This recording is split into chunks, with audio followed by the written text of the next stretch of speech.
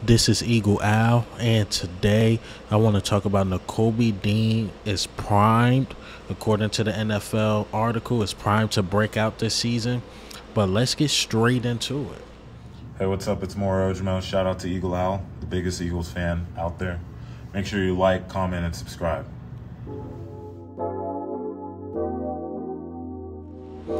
All right, so Nakobe Dean, it was an article written by, believe his name is Bucky Brooks, and he works for the NFL. So what the NFL do during like training camp, things like that, they come out with like an article uh, who's projected to have a breakout year. It's usually guys going into their second, third season, sometimes even fourth season. And we had a guy listed, and this guy name is Nakobe Dean. Nakobe Dean was listed on this list because the departure of Kyzir White and the departure of TJ Edwards, he's just primed to have a breakout year. And um, I'm going to go ahead and pull up the article right here, and this is what it said. Nakobe Dean, Philadelphia Eagles, age 22. All right, the Eagles new green dot defender could make the mark immediately as a first time starter, and I couldn't agree more. The second year pro was regarded as a high IQ defender with excellent communication and playmaking skills at Georgia, but the league did not get a real chance to see him in action last season. We already know why.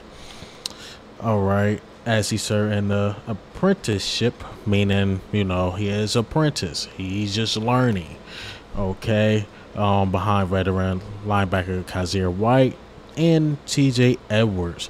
After the free agents' departure of White and Edwards, Dean has assumed signal calling duties. Can't read, sorry.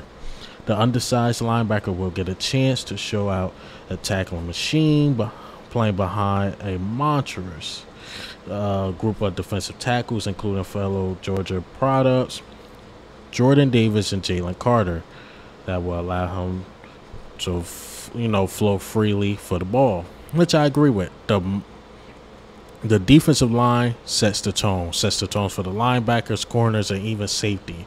So having those big guys, and we know Nakobe Dean is undersized, he he can flow better. He can fit through the gaps if we needed him to rush the uh, passer, the quarterback.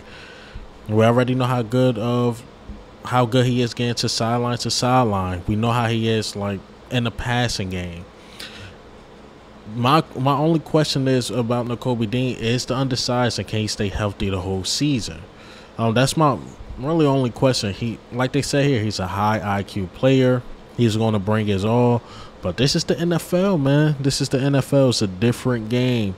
So I hope Nakobe Dean could bring it because um, what's not mentioned in this article is that if Nakobe Dean can't really stay healthy, we're relying on Nicholas Morrow and whoever else.